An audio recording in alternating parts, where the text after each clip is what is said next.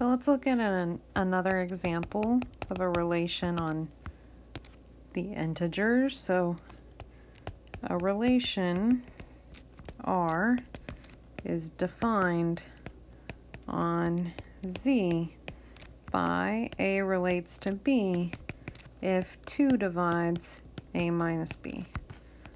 So just remember, I'll make a note here, recall, what does it mean to divide? Um, x divides, or I'll say, uh, we're talking about integers, m divides n if n equals m times k for some k in the integers. So I want you to, again, prove or disprove the following.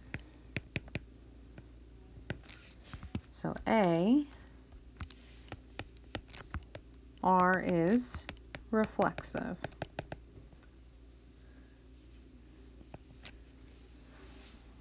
So let's take an arbitrary integer, I'll call it A, and let's look at A minus A. Well, that's 0. And can I write this difference as 2 times something? I can write it as 2 times 0. So then I could say 2 divides A minus A. So that means A is related to itself, and so my answer is yes, R is reflexive. And again, this is kind of like our, this right here, this is our outline. So let's write the proof now. Let a be any integer, z. Well then, a minus a equals 0. So a minus a equals 2 times 0 and 2 divides a minus a. Therefore, a is related to A. So every element is related to itself. Thus, R is reflexive. Okay, so we proved that this relation is reflexive. Let's see, is this part B oh, is R symmetric?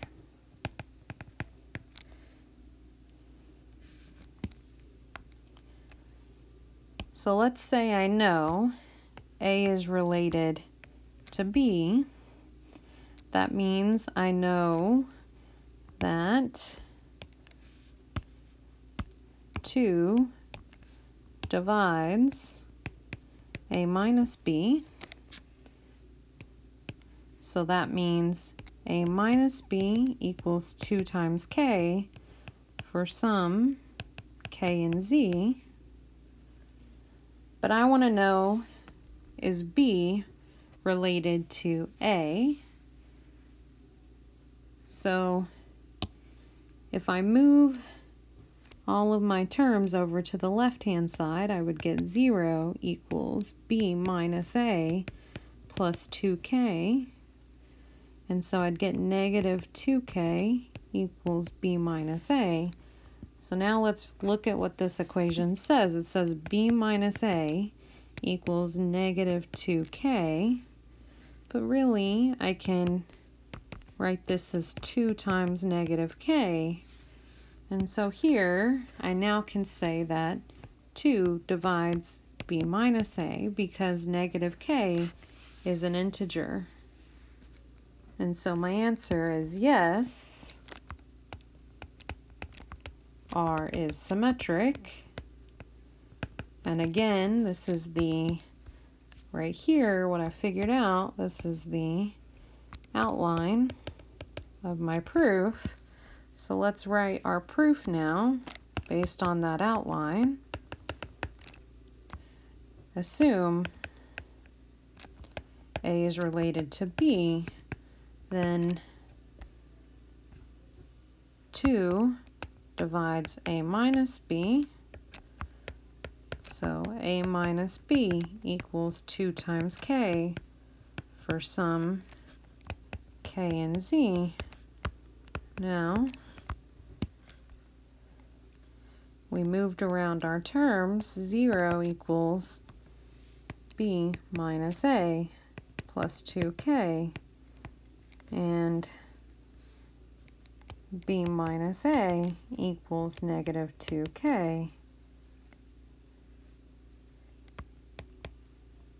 Therefore, b minus a was 2 times negative k, where negative k is in, in z. Hence, we can conclude that 2 divides b minus a,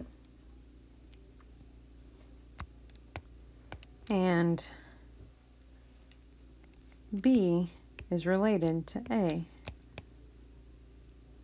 Thus, R is symmetric.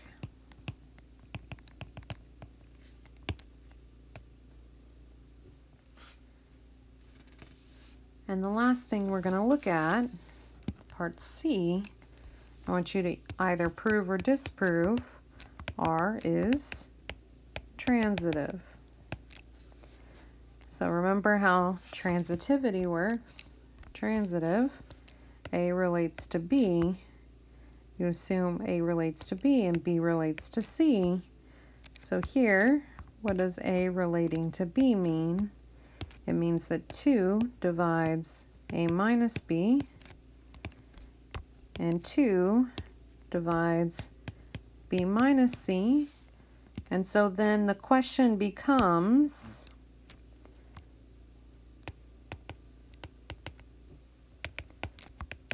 is A related to C? So you can say, does, does 2 divide A minus C?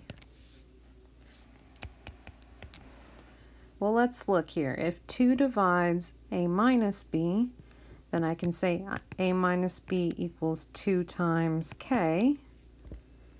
And then 2 divides b minus c, so b minus c equals 2 times some integer, I'll call it m, for some k and m and z. And so now what you should do is take your two equations and let's see what happens when I add these two together. If I add the left-hand side together, the negative b and b will cancel, so you get a minus c equals 2k plus 2m. a minus c equals 2k plus m. And k plus m is an integer because it's the sum of two integers. And so 2 divides a minus c. So the answer is yes, 2 divides a minus c, which means that this relation is, in fact, transitive. So I'm going to say yes, r is transitive. And now we need to write the proof, but again, our outline is all up here. So this is our outline here. And then this part up here is also part of our outline. So we're just going to write it now formally. So assume A is related to B and B is related to C. Then 2 divides a minus b, and 2 divides b minus c. So a minus b equals 2 times k, and b minus c equals 2 times m for some integers, k and m, adding these equations together. We get a minus c equals 2k plus 2m. a minus c equals 2 times k plus m. And since the addition of integers is, in, is an integer, since k plus m is in z, 2 divides a minus c and a is related to c. Therefore, r is transitive.